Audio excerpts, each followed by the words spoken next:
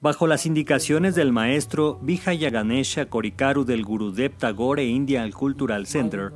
cientos de jaliscienses practicaron una rutina gratuita de yoga en el Parque Metropolitano de Zapopan,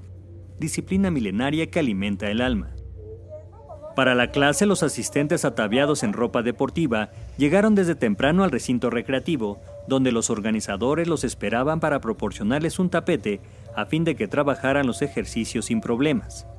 El maestro Korikaru fue guía para que los presentes realizaran cada movimiento a conciencia, sobre todo para lograr plena concentración en la técnica de cada postura, lo cual fue fácil considerando el entorno natural que ofrece el Parque Metropolitano.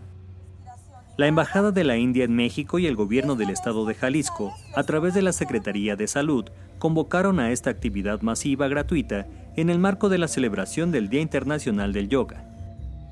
con información e imágenes de Lucía Lizárraga, corresponsal en Jalisco, Notimex.